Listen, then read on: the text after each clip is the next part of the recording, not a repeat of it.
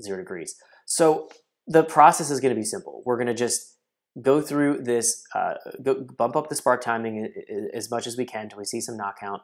Um, I usually don't go much higher than 25, 26 degrees timing and the last three columns here for my wide open throttle naturally aspirated uh, portion of tuning.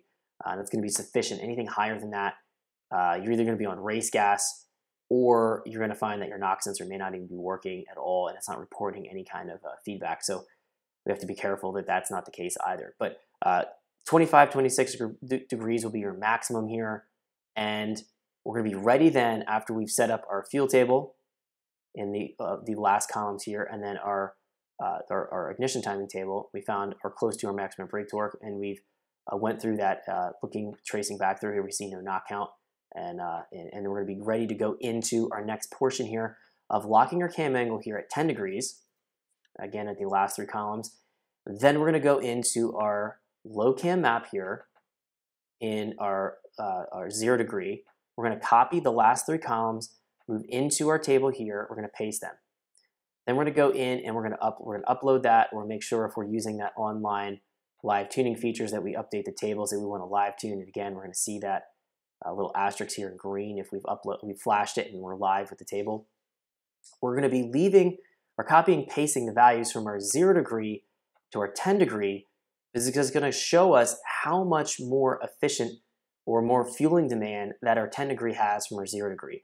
So as we rotate and request more cam angle here, it's going to get to a point where the higher cam angle may actually lose power and lose torque, and therefore we don't need as much uh, injector millisecond added or an, as much fuel being pumped into the engine because we don't we don't need to have as much fuel at a, at a lower power level as we do in a higher power level. So if we copy and paste our last three columns to our next highest uh, table, doing our WOT tuning or wide open throttle tuning, we're going to find that it's going to probably be lean. We're going to have to add some more fuel.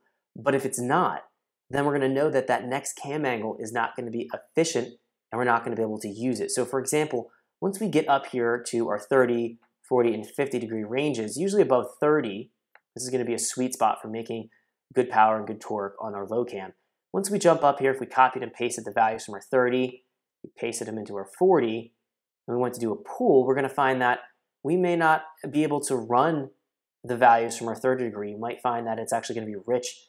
And if that's the case, then we're going to find that the 40 degree cam angle is not going to be optimal. We're not going to be using 40 degree if at all possible, on our low cam operation because we don't have the fueling demand there from that table. Now, the other thing we can also do